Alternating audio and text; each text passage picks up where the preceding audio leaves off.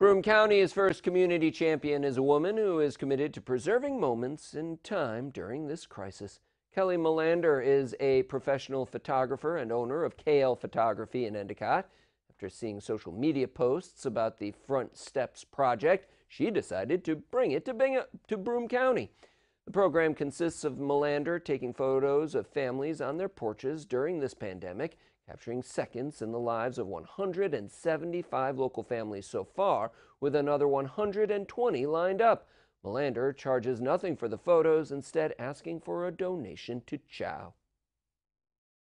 Being able to document this and families being able to look back years from now and see this. I mean, even even the kids that are young and don't really understand what's going on, um, you know, their parents will tell them that this was the time that you weren't in school and this is what's happening in the world and you know we we donated to chow and we helped families you know be able to have food Melander says that she started the project with a goal to raise $1,000, but has since surpassed that with 5,500 and more.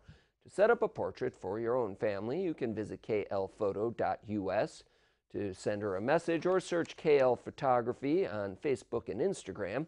You can also donate to Chow via her GoFundMe page, which you can find a link to at binghamtonhomepage.com.